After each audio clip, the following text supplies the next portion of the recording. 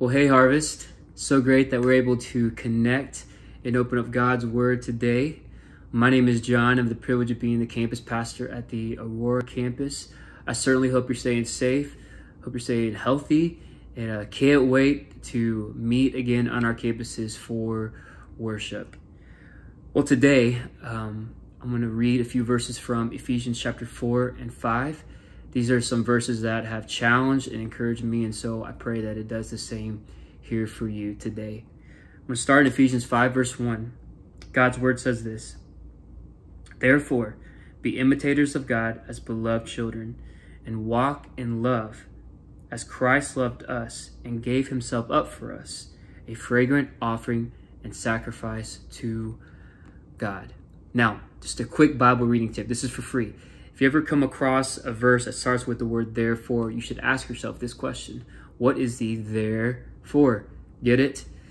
Well, in the preceding verses, uh, in chapter 4, verses 17 through 32, Paul talks about the new life that the Christian is to walk in.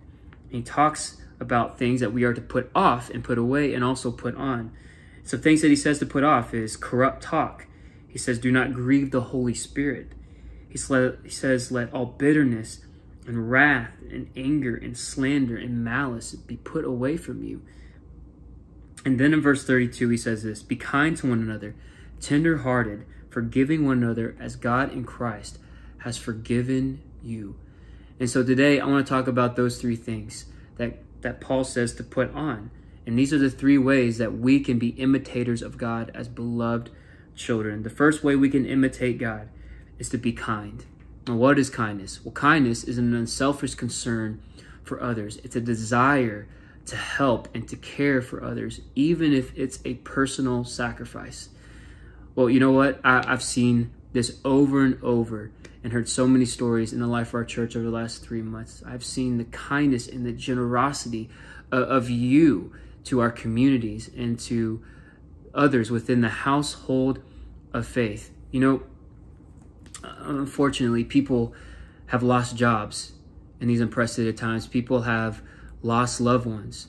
People have felt disconnected. Fear and anxiety and disconnectedness has really set in. But because of the overflow of God in your life, because of the kindness that you receive from Christ, that you want to extend to others, I have heard so many stories and seen so much of you, our church, help, come alongside, and assist people. And I think that's amazing. And that's one way we can imitate God as a beloved child. Secondly, tenderheartedness. What is tenderheartedness? Well, tenderheartedness is a willingness to bear other people's burdens. It's a willingness to show compassion, to show sympathy, to stop and to help someone, even again, if it comes as a personal sacrifice.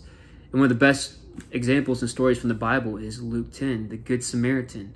Maybe you're familiar with that story. In the story of the Good Samaritan, the Good Samaritan is traveling on a road and he sees a man that is left on the road that was left up to die. And he stops and has says that he has compassion on him and he puts him on his animal and takes him um, to the inn and he makes sure that he is bandaged and taken care of and even says this to the people at the end that if you need to give more care for him, just charge it to my account.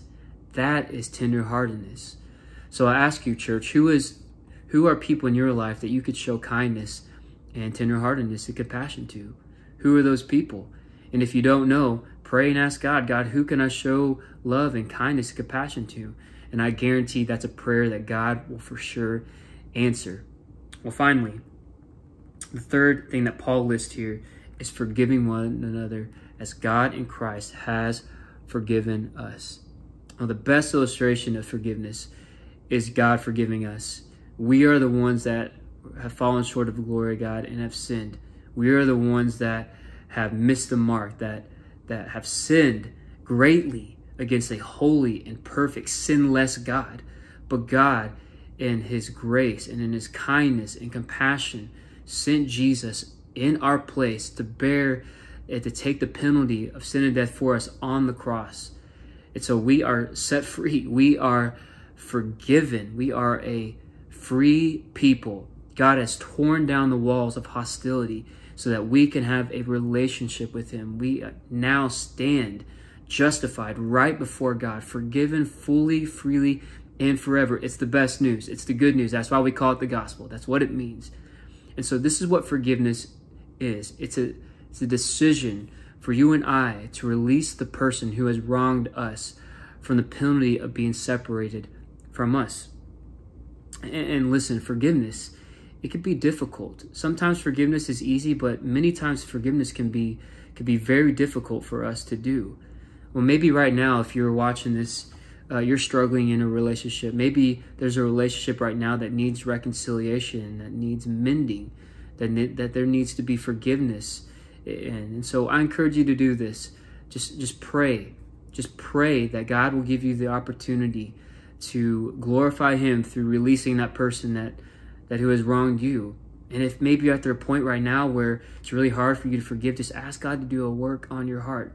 Pray that God will help you understand what He has done for you by forgiving you through Jesus Christ and that, that you could have that power to forgive others. Romans 12, verse 18, it says, If possible, as far as it depends on you, live peaceably with others. And so um, I'm going to pray for you um, that if you need to extend forgiveness and try to bring peace to a relationship that is broken your life, that, that you could do that. And so through God's Spirit, through His power, you can. You can. Well, as I conclude here in our short time together, I encourage you to imitate God as a beloved child of God, to be kind, to be tenderhearted, and to forgive others.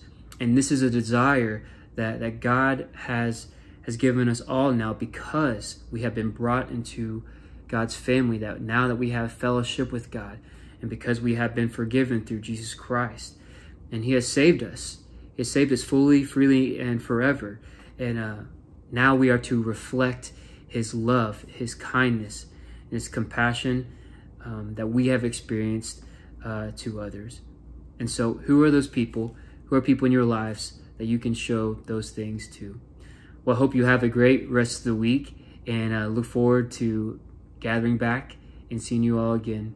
You are loved.